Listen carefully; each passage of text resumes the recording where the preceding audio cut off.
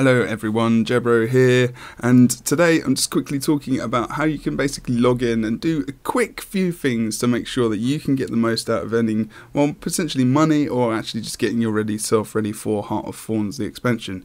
Now, the first thing is daily logins. Make sure you are logging in daily, even if you've got two seconds while you're brushing your teeth or you're getting ready for work. Make sure you log into the game and just grab that extra chest above your map. Make sure you open it and uh, grab your rewards, of course course, then if you're in PvP, you can do these dailies, which are on the screen, which give you a nice little boost potion, which can help you boost your reward track. Now, I've actually saved mine, so when Heart Thorns comes out, if there's any new reward tracks, I can just burn through the tracks, get the new skins, or get the new items that I need to get very quickly.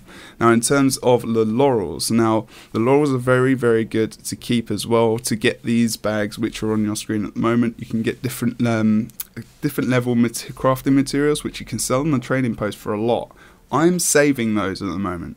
Reason is, we don't know how much you're going to need of whatever for Heart of Thorns, of course. You might need lower crafting materials and stuff, so those might be worth a lot of money.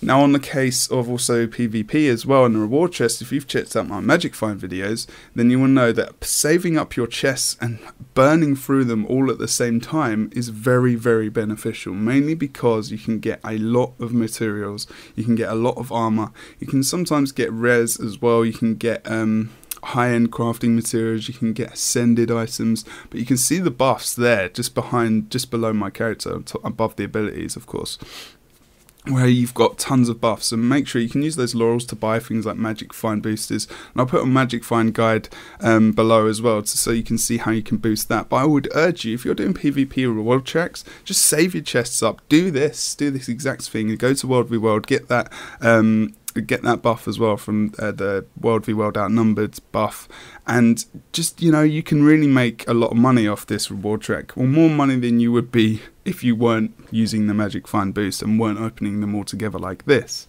Um, you can sell the mats which you've got extra stacks of, of course, if they're not fitting in your bank. And, uh, you know, it's just a great idea to do it this way. This is how I've been doing it.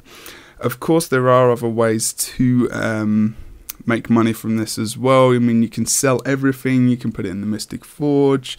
You can sell the.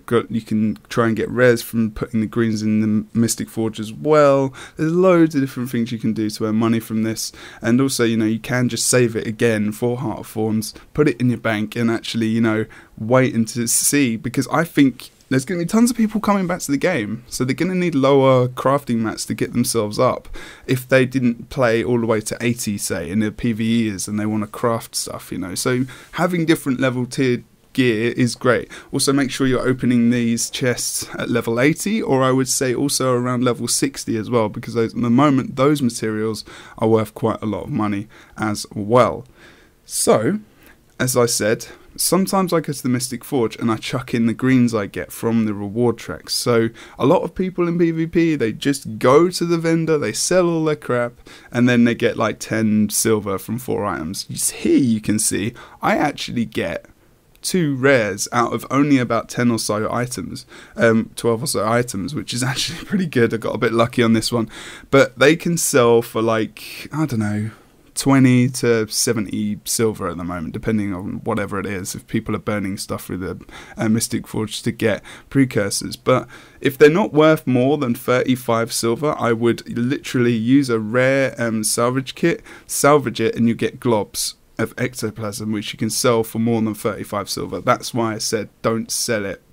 Uh, sorry, don't sell it if it's not worth more than 35 because you can actually make a load more out of that rare of course. It's a very quick video. This is why i'm going through it very quickly because it's just minor info that would help you really uh, to make a little bit extra money.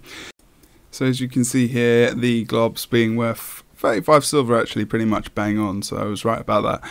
And uh, yeah good to save those up or to actually just sell them if you do get the rares and salvage them and they're not worth 35 silver or above. So the one of the last things I do every day um, is because actually because I completed a lot of the PVE stuff is to go to my home instance and actually um, mine some different bits and pieces like the sprockets and the candy corn and whatnot. And uh, yeah, that's and the quartz as well, which is very good because you can actually combine 25 of them to make one uh, the rare quartz crafting materials per day, and uh, that's actually quite useful as well to save those things up because you don't know what you're going to need for Hearthorns, and you're probably going to need this stuff. And I actually use. Um, one of the winter's day mining picks to actually do this so I can actually get some of those snowflakes as well. Tiny bit of extra cash, a couple of copper here and there, but you know, it's for free pretty much, and I got a ton of those picks as well, so I can actually make some money out of it. Slow money, but it's extra money here and there, and you can sell, see how much they sell for. I mean, two uh, silver, 34 copper each for those quartz, and then obviously the sprockets as well, and I've saved a lot of those sprockets up. So so far, I've made I could make like four or five gold um, at the moment overall. I've got some deposited in my bank. So finally, the um, last thing really that you can do, if you have it, is the uh, Mawdrey, when you can actually use that daily to burn up this bloodstone dust and uh, oh, get yourself some bags, get yourself some loot here and there. I did get a rare the other day actually. I didn't open the rest of the bags here, um, but yeah, as you can see, pretty nice to actually have all these different bits and pieces combined overall in the day and I know Mawdrey is like something which is a little bit more rare to have, especially as a PvPer, because it's mainly something crafted through PvE.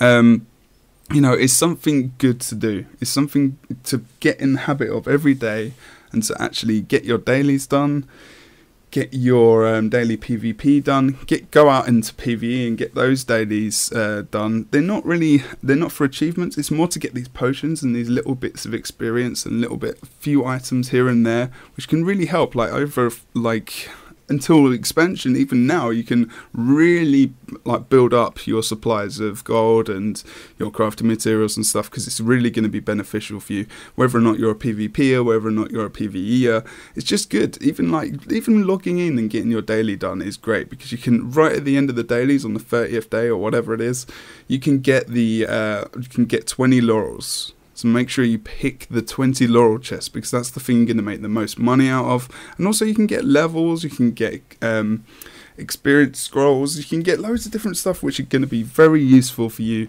to level up and to actually, you know, be prepped. This is pretty much why I'm doing it. So I just thought I'd make a video and let you know what I'm doing. Sometimes it's nice. I'll see you very soon. Don't forget to chuck a like, a comment below. What do you do every day to uh, prep for Heart of Thorns? What are you doing? Are you doing the mining runs around ore and different places like that? Are you doing dungeons? You know, what are you doing? Share your thoughts. Don't forget to like, comment, subscribe, and I'll see you very soon.